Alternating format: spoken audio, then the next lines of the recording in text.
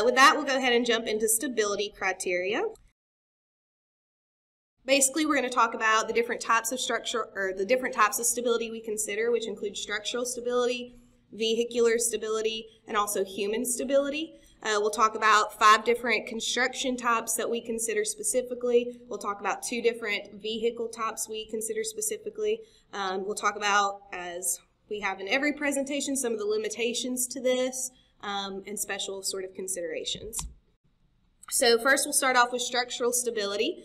Um, and when I say uh, stability, basically we're talking about the threshold, right? And so we generate these uh, functions, which you'll see in later slides, that basically um, are depth and velocity functions, to which we would basically sample those and say, okay, uh, for this particular structure or this type of structure, this particular individual, we are sampling their stability threshold. So the point where if the depth or the velocity exceeds that function, they have lost their stability. And for structures, that means the structure has collapsed, it's been washed away, and ultimately that would put the people within that structure in the high hazard zone. So we talked about the fatality rate curve, so this all relates back to that, and we'll revisit that again. Um, and so why is this important? So the stability of this house in the lower left-hand corner is, again, much different than the stability of the houses in the top right corner. So the in the top right corner, we've got a relatively very high depth, but it looks like relatively low velocities. So you might potentially be able to have people evacuate up onto that roof within their attic, um, or potentially maybe even swim out of this area. Whereas in the picture on the bottom left, you see uh, the water's sort of rushing by. The structure is on the verge of collapse and then also being washed away. So if there are any occupants within that building, that's clearly a very, very dangerous situation. So when we talk through structural stability, we kind of recognize, right, that what type of structure you're looking at, what it's built out of, like the construction materials, um, also other factors such as the weight of the structure. There's a lot of things that can go into what makes a structure stable or unstable. Um, and so we identified five sort of primary construction types and we sort of built um, LifeSim and our consequence modeling efforts around those construction types. So the first one is a manufactured home. May look something like this. Uh, think of your typical prefab prefabricate prefabricated home or modular structure. Um, trailers, campers, things of that nature might might fit in closely with this depending on uh, where they're located, if they've been put on a foundation, and that sort of thing. Uh, then we've also got our typical wood framed structures, and this we sort of put into two different categories, wood buoyant and wood anchored. And so this concept is a little bit more difficult to grasp. grasp. Basically what we're saying when we say wood buoyant is we're saying there's nothing bolting the structure to the foundation. So where I'm from, rural Appalachia, most of the wood frame structures are probably not bolted to the foundation if they're even sitting on their foundation properly, right? And then wood anchored structures, this you would see more common in like a seismic area or also maybe somewhere that has like a lot of um, tornado type activities like tornado alley homes are typically anchored to the foundation so when you're trying to consider like, oh, I can't really look at these structures' foundations, kind of think of the context of where those structures are located. Um, and you can also a lot of times Google some quick like building codes for the area and that sort of thing. That'll help you sort of answer this question. Next, we have our typical masonry structures, stone or block. This is typically unreinforced. And then we've got, lastly, we've got our engineered structures. So that would include your steel structures, or also your reinforced concrete structures. Um, keep in mind, uh, you see on this left, which they're clearly in construction of this particular steel structure, but this doesn't necessarily mean the walls are load bearing. You could have a structure still standing, right? You could have the frame of the structure, but you still might have washed away all the walls and you might have washed away all the contents within that structure. So that's an important thing to think about even when you're thinking about structure has good stability, but am I in an area where I have a lot of steel frames and people within, within would still be in a high hazard zone. So this is basically all, not all, the segment of the literature that we actually use to develop our functions for structures. There was a long list of literature that we reviewed um, and determined if it was a good fit or not. I shouldn't say a long list. As you can tell from here, there's not a lot, right? There's not a lot of data out there on stability in general, um, and especially not for each different construction type. So for our manufactured stability, um, we use the data from the HAZUS multi-hazard tool. We just took what they used. I couldn't find exactly what their methodology was for developing their functions, but we took them and ran with them because we couldn't find anything else. Um, and we applied some uncertainty to that, which you'll see where we kind of did all that later. Uh, for wood buoyant, we had these three different um, these three different papers here. So black was actually black 1975 et al. They were more of um, a, a, physical model, a, a, scaled down model was what the basis of theirs was. Same with Dale. Dale et al. basically took the black paper and expanded on it to more modern structures. And then Sangrey et al. Or sorry, Sangrey et al. expanded on black, expanded on the black paper, and then Dale et al. Um, I think theirs was more empirical in nature. Um, wood anchored, Gallegos et al. That was basically a synthesis of ten different um, methodologies that existed. So we used their most likely function. And then Becker et al., that one, um, that one was a computational model that they had built. And then masonry, uh, we used a Clausen Clark paper, and that was based off observational data. Um, and engineered, we only had um, some great work the U.S. Army Corps of Engineers did with absolutely no paperwork to go with it. So we just kind of took that and ran with it, and we had nothing else to really go off of for that. So if any of you are structural engineers or something of that nature, know some good stuff for this that I'm not tracking, would love to hear about it. Um, but having said that, so kind of using this literature review, we developed these stability functions. You'll notice on your left or your x, your y-axis, you have your depth, and then on your x-axis, you have velocity. And so what you're looking at here um, if you look at that blue line, that basically represents our sort of worst case. This was modeled as a triangular distribution, so that's pretty much your worst case scenario. So uh, lower depths and velocities can really lead to structural collapse. Then we've got our most likely, so all of our data is going to tend to that particular line in our function. And then the red line represents our best case sort of scenario. So the blue shaded area, that's all the uncertainty we have. We're like, it could be anywhere in between this range, somewhere in there. If we're below the blue line, we're assuming we're good to go. There's no structural collapse. Stability is maintained. Occupants inside can hopefully vertically evacuate if they have the ability to do so. And if we're above that red line, that is no fly zone. The structure has collapsed or been washed away. All the occupants inside would be considered high hazard. And so we did this for all these different construction types. So this one was for wood anchored. For wood buoyant, we actually have three different functions. And that was because we recognized that weight of a structure can affect how buoyant a structure is, right? So basically you think you have this force, so you have water going against the structure that is on a foundation. And depending on how much that structure weighs, the force may or may not be enough to push it off, to knock it down, what have you.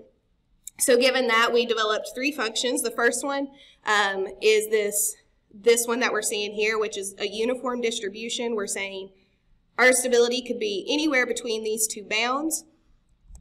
And then we have one that is for our light wood structures. Now again, what is considered light versus heavy for a structure? Um, how do you define that? We came up with an estimate based off some of this literature and I forget what exactly that number is. I'd have to look it up. There is a white paper that goes with all this, by the way, if anyone wants to get into the literature and take a deep dive. Um, but basically developed one for light structures, and then we also developed one for heavy structures. And so what makes a structure light or heavy? So the materials that are used, you have a brick, uh, brick siding versus vinyl siding? Um, do you have an asphalt roof versus a clay tile roof? So all those sorts of things. So if you have no idea what sort of structures are in your inventory, you may choose to use the uniform distribution that has that full range. And if you're looking at homes where you have mostly like, you know, wood or sh single uh, shingles and then something like that, you might use the light. And if you have mostly uh, wood frame homes, and then they have some heavier sort of siding. You might use heavy. So use your best judgment on that. And then next we have our masonry. Um, similar story here. Uh, won't bore you all the details, but you know, keep in mind if you're above that green line, we're assuming that you are unstable. And then here we have one for engineered stability as well. And you'll notice this one was a triangular distribution and this one is uniform. And the way we came up with these different uncertainties for engineered is we used expert judgment and made a good guess. So um, these are all editable within LifeSim. So if you have better information in your study area or you have assumptions that you think make more sense for your structure inventory, um, these can be changed and edited as appropriate if you have more or less uncertainty. And then lastly, poor manufactured houses we have down here with very low stability. Um, and again, the whole concept here is if I am in a single wide versus if I am in a skyscraper, my stability looks very different. If I'm in a manufactured home versus a, a concrete home, my stability looks very different, right? So we're just trying to account for that within our modeling. And so why is this important? So just some fun videos here. I believe this first one, this was, I believe, in my neck of the woods in Tennessee. So here we have some manufactured houses floating down the river. And here, this was in India, in the, uh, I believe in the uh, Ganges River. You see this structure is just crumbling to these very turbulent forces. This one here is in Alabama. We've got lower depths. People are just wading in the water, just hanging out. No one's too concerned. And then here we've got these masonry structures that are put together, which also is something to consider. Maybe that makes them a little bit more stable. Haven't seen a lot of research on that. Um, but really turbulent water rushing through, um, and they're all still standing. So just kind of to help you visualize why this is important and how it may come into play. And so all this ties back, you saw this slide earlier with Jason, so this all ties back to our fatality rates. So basically what we're saying is if that stability threshold is surpassed, we are going to sample this blue function, which is our high hazard function. And if the stability of that structure is not surpassed, but it's but it's gotten wet, so maybe if you have a low depth or high depth, low velocity structures um, still standing, maybe you will sample that low hazard. So it depends on the submergence um, as well of the people inside which curve this would sample, but basically we're trying to say, did the structure collapse and did it, did it float away or something of that nature? And if it did, automatically high hazard. So here's an example. This is from Malpasset. And what you see in this graph is each of those dots uh, represents a particular structure. Again, velocity y-axis, depth x-axis. The orange line is using, uh, this was from LifeSim, a modeling effort we did to kind of test the sensitivity to the stability criteria. So orange line, we use the wood anchored stability criteria. And then the green line, we use the masonry stability criteria. And the reason we did this is because we weren't really sure what those structures were made out of. We were trying to model a case history, not a lot of data.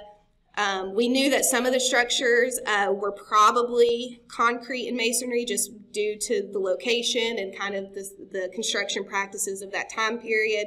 But we also knew there were some uh, military facilities nearby that were probably thrown up rather quickly and probably were more uh, similar to like a wood structure. So we were trying to see, well, does it even matter for our results? Which one we pick? Should we be testing? Should we be doing part part structures this, part structures that? We we're just trying to figure it out. And so this is really interesting, right? So if you notice the space between that orange and green line, those are kind of all the structures we're not so sure, or, or, or all the structures where this could really make a difference, right? So anything above that orange line with the wood anchored stability criteria would be considered collapsed or washed away. Anything above the green line for the masonry would be considered collapsed or washed away. So this area in between um, whether, depending on which stability criteria we use, we would be sampling very different fatality rates for the people in those structures. And so how did this play out? So this is, again, some results taken straight from uh, LifeSim. On your uh, y-axis, you have your total life, life loss, life with the eyes, eyes, life, uh, life loss, and then time of day on the bottom. Um, so you've got uh, the orange box, which is the masonry structures. And then the blue box, which is using that wood anchored stability criteria. So notice life loss, life loss is much higher for the wood anchored stability wood anchored stability criteria than for the masonry criteria. So we're looking around, I don't know, 425 for that orange box versus 525 for the blue box. So about 100 people difference that we, I don't know why that keeps doing that, um, 100 difference between life loss there. So this is why this matters. This is why you need to pay attention to your structure inventory um, and the construction practices of the um, structures within your, within your zone. So moving on to human stability criteria. So again, we do the same thing. We develop these thresholds, these functions for human stability criteria also defined by depth and velocity. And again, same story. This can have a significant impact on life loss. And so um, I believe the top one, that was from Hurricane Ida, I believe. And so you see this man's carrying his child through the water. People are just in the flooding, mind their own business, not too worried about their particular hazard. Um, in the bottom, I couldn't find where this actually was taken, but we've got a rescue happening. A man is in deep waters. Looks like there's a little bit of velocity going on there too, and he is clinging on. And so in the last one, we've got a man whose truck is going underwater and he is swimming. So the stability of all these individuals is very different, right? And so this is what we want to consider when we're thinking about what are the depths and velocities associated with our study area um, and how people might uh, behave within those conditions. So human stability research is a lot more exciting. Um, so basically, uh, this is some of, a synthesis of some of the data we use to help us develop these curves. Um, notice uh, subject characteristics. They did have uh, children, they had adults, and they also had professional stuntmen. So that would be kind of cool. Um, and then they also had rescue workers that actually were dressed in their safety or in their like uniforms and all their, with all their safety equipment. So they were testing a full range of stability here. Um, and they had them either stand, walk, or sit.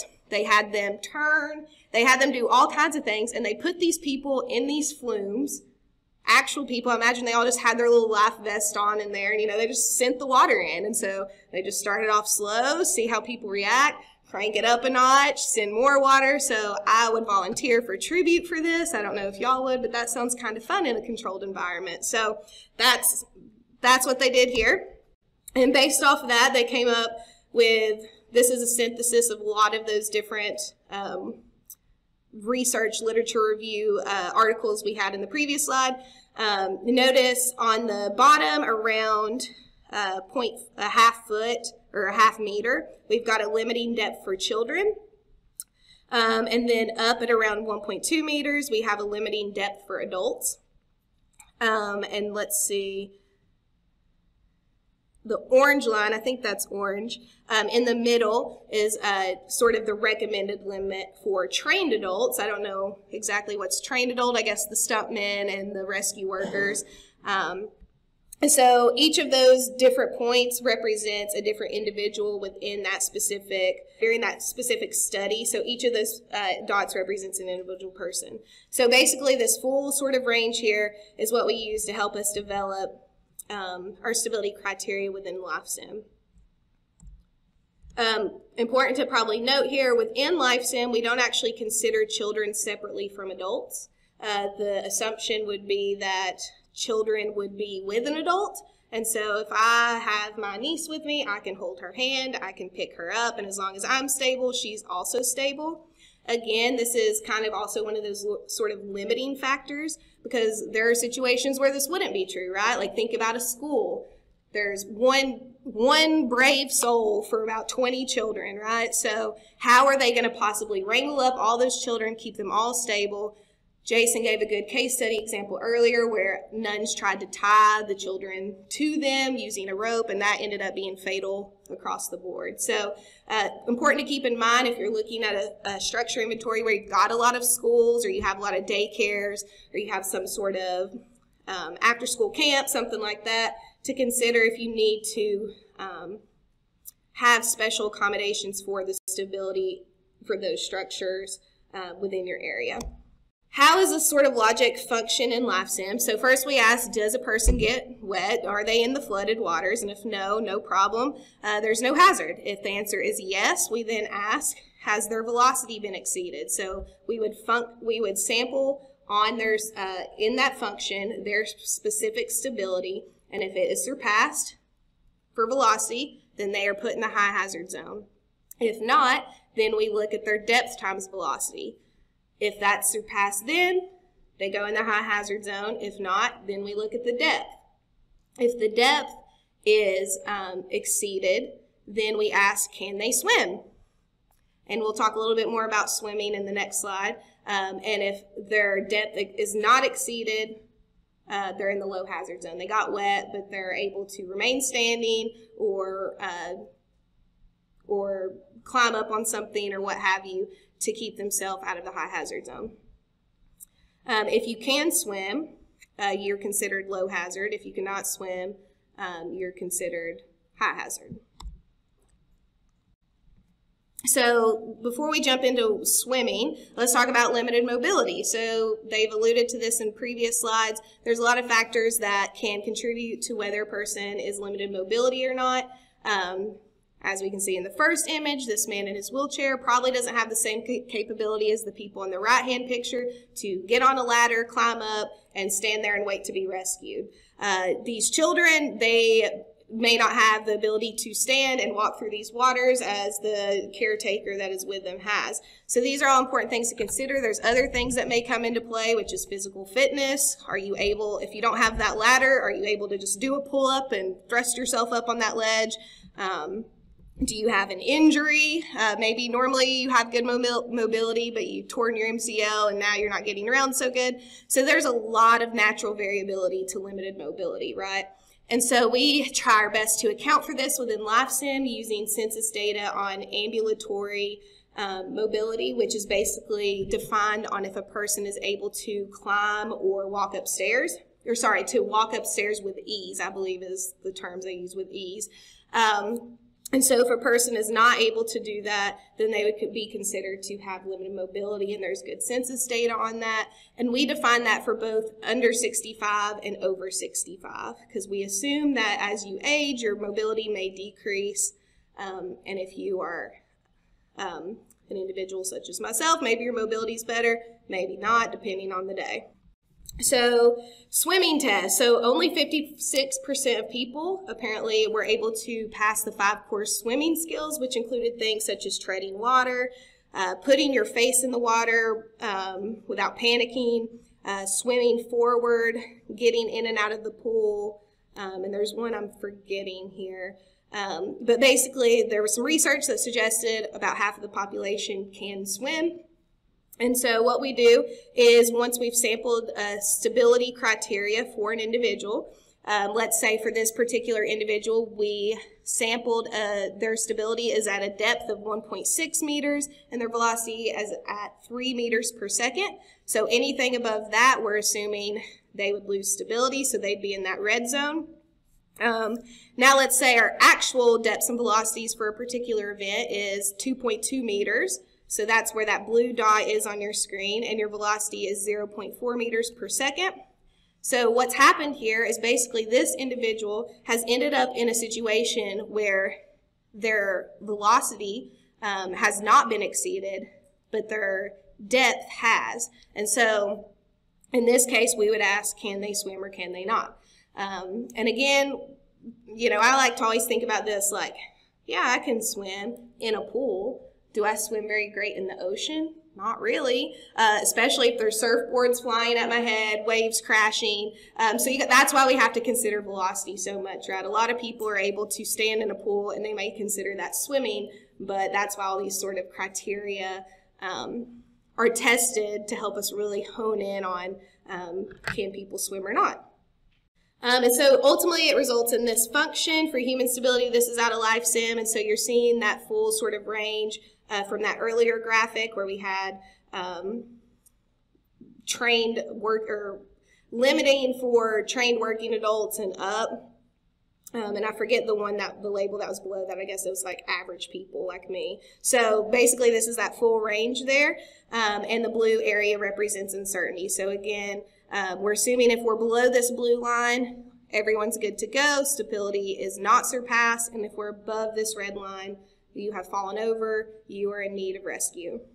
Um, and as Jason alluded to earlier, also, well, not alluded to, he explicitly said, uh, we have case histories where people have defied the odds and they have been able to survive very hazardous situations. So that's why on our fatality rates, um, we have we have modeled those situations, and then we also have people who have tripped and fell in the wrong place at the wrong time and lost their life. So it's just important to also consider just because you're in a high hazard zone does not mean a person's necessarily going to lose their life. So moving on to vehicle stability, um, I can't remember where this image on the left is from. I think the one on the right is uh, from one of the hurricane events in 2017. Um, so again, very similar uh, to the previous ones we've been talking about, and we're looking at specifically uh, sliding, toppling, floating, stalling, um, which we'll see in later slides. So here's a synthesis of some of the research that went developing these functions. Um, Shanda et al. was basically a synthesis of several studies. Um, and then you'll notice there's a couple of theoretical studies down here. Martinez, um, Martinez and uh, Gomariz, that was a another sort of synthesis of other literature. Um, and then they also did some uh, model, physical modeling where they had uh, scaled vehicles, again, in sort of flumes, sent the, uh, sent the water down and to see what would happen.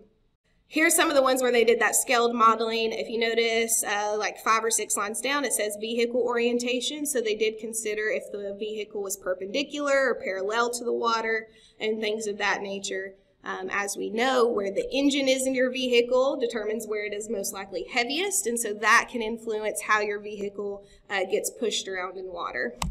So, uh, from this research, they found these are sort of the main ways that a vehicle can lose stability. Um, as we all know, tires float, they have air in them. So again, vehicles are very unsafe places to be. Um, and then another option that we also consider is if you your vehicle stalls, and we would consider that to be losing stability as well. So this is for low clearance vehicles. So basically we separate between low clearance and high clearance. So low clearance, think about like your Prius. High clearance, think about like your monster trucks not even necessarily monster trucks. I'm exaggerating for emphasis, like a normal truck or an SUV. Um, so this is all the results from that. You can see on the bottom here some different vehicles that they sort of tested this for. So everything from uh, Mini Cooper, I think, um, let's see, we've got minivans. So they kind of had a full gamut here. And then for trucks and high clearance vehicles, uh, they've got everything from um, a tank, which you see in the second column, which is kind of cool, uh, versus like a Volvo and an Audi in those vehicles. So they considered again a full range of different types of vehicles and said, okay, uh, these all have similar sort of clearance, and so how would they be impacted by influences of water? And using that in LifeSim, we came up with these triangular distributions. The one on the left is for low clearance vehicles, and the one on the right is for high clearance vehicles.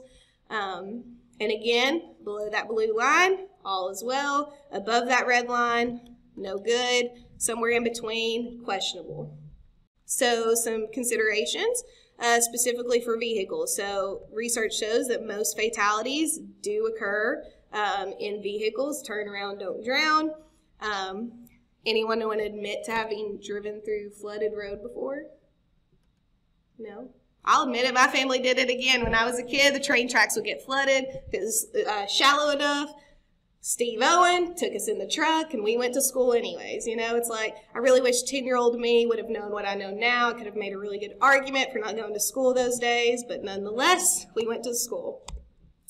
Um, so, uh, cars and trucks stability is, are very different as we've talked about, and this is why monster trucks was on my mind. So here you see like this uh, sports car uh, just kind of stuck, and this guy with his American flag just trucking on through, having a good day.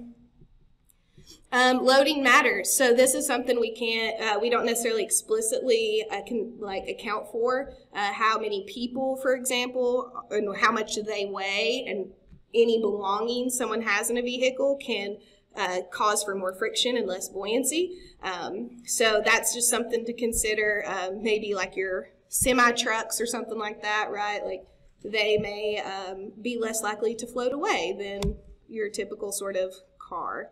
Um, again, cars float.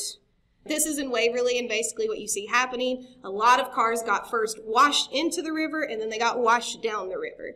Um, and they just all sort of piled up at this bridge, and you can see they're turned all sorts of different ways. Um, and of course, no one parked their car in the river that day. And then human stability um, is often better than vehicle stability. So this is really important to keep in mind. A lot of times you might see um, people have this notion that I'm safer in my car than on my own two feet. And so people get stuck in flooded waters and they'll just be sitting there waiting for someone to come get them. Other times you'll see people exit their vehicles, climb on top, walk through the water, swim away. Um, if you had the option, you probably should get out of your vehicle, right? Because I'm sometimes better on my own two feet than inside a car that is buoyant and can I don't have control over. At least I have control over myself sometimes. And then lastly, the stalling sort of application. Uh, vehicles may stall prior to losing stability. So this vehicle here, you can see it looks like um, in the middle, sort of behind you see the tail lights there. It looks like he's just kind of hanging out. He got stuck in there. He's not really being washed away. His vehicle hasn't toppled over. Um, and then you see in the white vehicle, you've got people actually exiting the vehicle to get out. So if water gets in your engine, I'm not a mechanic. Water gets in your engine, bad things can happen, right? And so you may just get stuck somewhere you don't really want to be stuck. So even if you think you can drive through flooded waters, maybe think again. And then lastly, there's a lot of other considerations and also sort of limitations to the LifeSim modeling we actually do. So for one, we don't necessarily account specifically for debris.